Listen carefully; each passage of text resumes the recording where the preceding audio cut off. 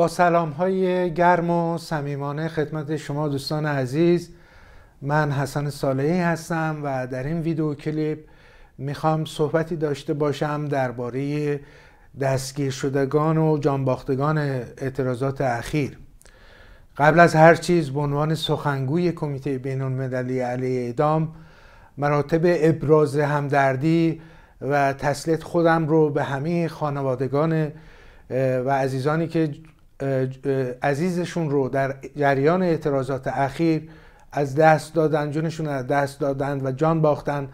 مراتب تسلیت و همدردی خودم رو اعلام بکنم و همینجا با قاطعیت اعلام بکنیم که ما از خون اینها نخواهیم گذشت و کسایی که فرزندان مردم ایران رو در جریان اعتراضات اخیر به قتل رسوندن به پای میز محاکمه خواهیم کشون و مجازات خواهیم کرد. اجازه بدید من در ابتدای صحبتم از یک توییت آغاز بکنم که خانم مریم کریم بیگی خواهر مصطفی کریم بیگی که در جریان آشورای سال 1388 به ضرب شلیک گلوله دشخیمان جمهوری اسلامی به قتل رسید و کشته شد آغاز بکنم که در توییت خودش در توییتر گفته بود که مادر ایشون یعنی خانم شهناز اکملی به دیدار یکی از جانباختگان اعتراضات اخیر یعنی پویا بختیاری رفته و ایشون این دیدار رو اینطوری تصویر می‌کنه. میگه که مادرم یعنی خانم شهناز اکملی وارد خانه شد و عکس مصطفی را بالا برد و با عشق گفت من ده سال این درد رو دارم. مادر پویا خودش انداخت بغل مادرم و توی بغل هم زار زدن. بعدش آرومتر که شدن کنار هم نشستن و هر, هر کدوم از آنچه از بچه هاشون گفتن. اینقدر گفتن که به لبخند یک لبخند کمرنگ روی لب هر, دو هر دوشون نشست. خب این تصویری از مادرای داغدار اونی که ده سال پیش فرزندش از دست داده و اونی که امروز فرزندش از دست داده و این مادران هر جا که باشن همدیگر رو پیدا می‌کنند زبان همدیگر رو می‌فهمند به کمک هم میان و به پشتیبانی همدیگر می‌پردازند. در اوضاعی که غم و اندوه فراوانی بر دل اونها نشسته. جمهوری اسلامی به فرزندان اونها که جان باختن علیه چل سال در مبارزه علیه چل سال ظلم جمهوری اسلامی گفت اشرار. در صورتی که اشرار کسایی هستند که بر مسند حاکمیت نشستن دزدایی که پول مردم رو به جیب می‌زنن و کسایی که در این سالهای سال فقر و فلاکت رو به مردم تحمیل کردن و جیب مردم رو خالی کردن و فرزندان مردم را به قتل رسوندن. اینها با گفتن اینکه فرزندان مردم که به گلوله دشخیمان جمهوری اسلامی جان خودشون را از دست دادن وقتی میگن اشرار دارن دشمنیشون رو یک بار دیگه با مردم ایران ثابت می‌کنن. نشون میدن که اینها دشمنان دیرینه مردم هستند و فقط وظیفه سرکوب و قتل و جنایت مردم رو بر عهده دارن. فکر می‌کنن که می‌تونن مسئولیت شونه خالی کنن مسئولیتی که در کشتار مردم داشتن.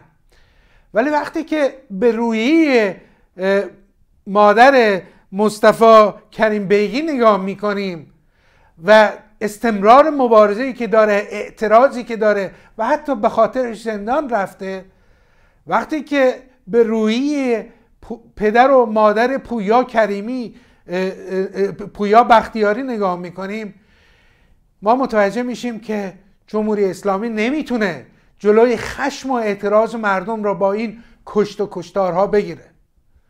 مادر پویا بختیاری که خودش یک معلم هستش میگه تا به سمر رسیدن آرمان پسرم به اعتراض ادامه خواهم داد. گفت که پسر من کشته شد نه فقط به خاطر گرانی شدن بنزین بلکه به خاطر چهل سال ظلم ظالمان جمهوری اسلامی اعتراض به این امر به این موضوع کشته شد. مراسمی که برای پویا بختیاری گرفته شد طبق اخباری که ما داریم مراسم بزرگی بوده. و این جواب دندون شکنی به جمهوری اسلامی که می‌خواد وقتی پیکر عزیزانشون رو می‌خواد تحویل اونا بده بهشون میگه سکوت بکنید حرف نزنید مراسم کوچک برگزار بکنید و با رسانه ها مصاحبه نکنید. خانواده پویا بختیاری برخلاف این عمل کرد. مراسم گرفتن با رسانه ها مصاحبه کردند و اعتراض خودشون رو به همه جهانیان رسوندن. و این الگوی و یک نمونه ایه که در واقع می‌تونه به الگوی همه ما تبدیل بشه. و نذاریم خون عزیزانی که ریخته شده در سکوت و خاموشی باد فراموشی سپرده بشه. این جمهوری اسلامی می‌خواد. بنابراین یک فراخان ما به عنوان کمیته بین المللی علیه اعدام اینه که مراسم این عزیزان رو در داخل کشور در خارج کشور باید ما برگزار بکنیم و بگیم اینها به چه دلیلی به قطع رسیده شدند؟ برخلاف اون پرده پوشی که جمهوری اسلامی می‌خواد دنبال بکنه. یک هدف ما باید این باشه که به اینها هویت بدیم اسامیشون رو بگیم عکساشون رو همه جا پخش کنیم. بگیم اینا به کسایی میگن ارازل اوباش که پسر دختر 13 14 ساله 20 ساله 19 ساله بودن.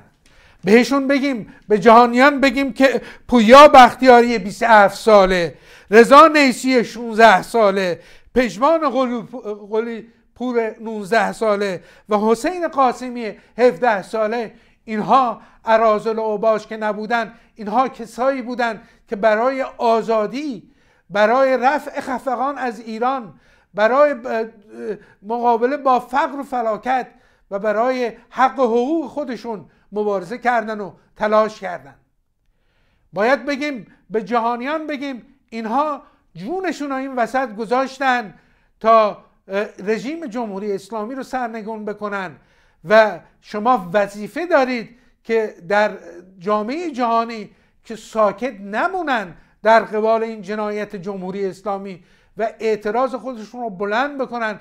به بهترین اعتراض اینه که روابط دیپلماتیک و سیاسی خودشون رو به با جمهوری جنایتکار اسلامی قطع بکنن. دوره سکوت و خاموشی در مقابل جنایات جمهوری اسلامی تموم شده. سالها سالهای ترور و ارعاب ده شهست نیست. جمهوری اسلامی می‌خواد مثل حکومت پینوشه عمل بکنه و جنبش اعتراضی مردم رو سرکوب بکنه. ولی دوره دوره که هم صدا فریاد بزنیم. سید علی پینوشه ایران شیلی نمیشه. یک درخواست ما از همه خانواده های عزیزان دستگیر شده و جانباخته اینه که اسامی این عزیزان رو با عکس و مشخصات و مختصری از زندگیشون برای ما بنویسید. پویا مهندس الکترونیک بود مهندس برق بود آرزو به دل داشت. یک آرزوش این بود که ایران طلوع دیگری رو ببینه. این خفقان و سرکوب و حکومت دیکتاتوری ور بیفته به مردم به آزادی برسن. بگذار همه دنیا بدونه که جانباختگان دوره اخیر چه آرزوهایی به دل داشتن و جمهوری اسلامی چه آرزوهایی رو از اینها گرفت.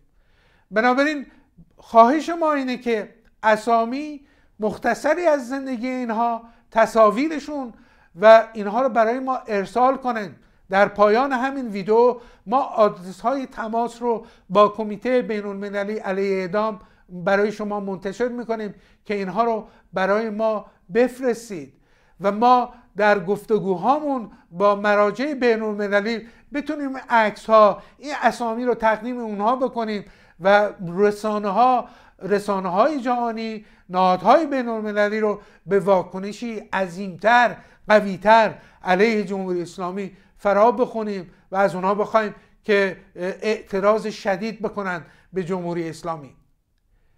ما در کنار شما خانواده های عزیزان جانباخته هستیم. ما همراه شما خانواده های دستگیر شدگان اخیر هستیم. نمی‌ذاریم صدای اونها خاموش بشه. در خارج کشور تا اونجایی که بتونیم و برامون امکان پذیره همه جا اعتراض برپا خواهیم کرد و صدای عزیزان رو پژواک خواهیم داد. الان اخبار گزارشاتی که از وضعیت دستگیر شدگان منتشر میشه اینه که تعداد زیادی دستگیر شدن بین 7000 تا 10000 نفر دستگیر شدن. آمار کشته شدگان بین 300 400 نفر گفته شده و ولی گفته میشه بیشتر از اینها بوده. اینها تیراندازای خودشون رو روی ساختمون ها مستقر کردن و تک تیراندازاشون مردم معترض رو شکار کردن. گفته میشه که در زندان فشافویه 1500 نفر رو بردن اونجا. در زندان رجای شهر کرج زندانیان و عزیزانی رو که دستگیر کردن مورد ضرب و شتم قرار میدن و تهدید به اعدامشون می‌کنن.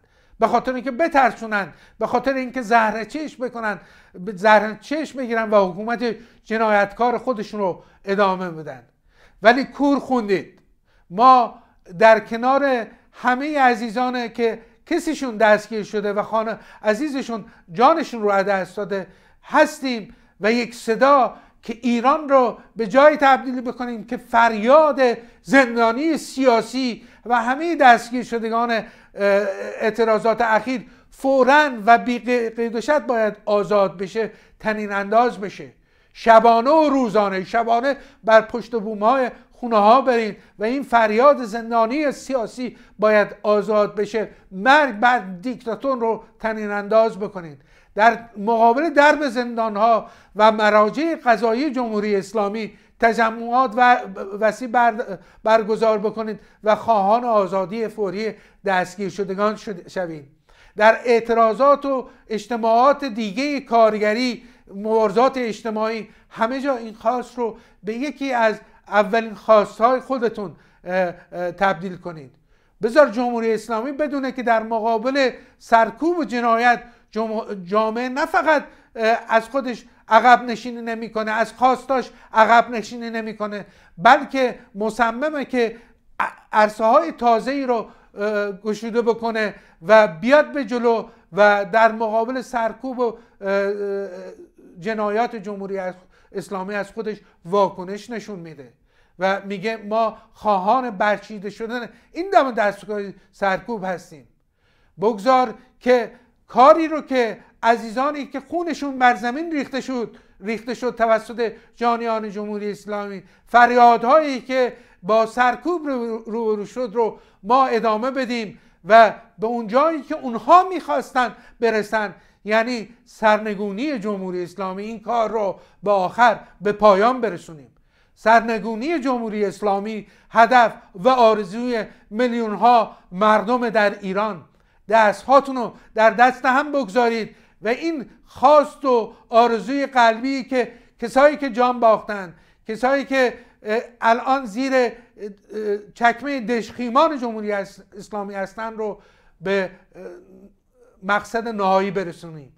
جمهوری اسلامی باید سرنگون باشه و, و ما تضمین می‌کنیم که این کار رو به سرانجام خواهیم رسوند. پیروز باشید.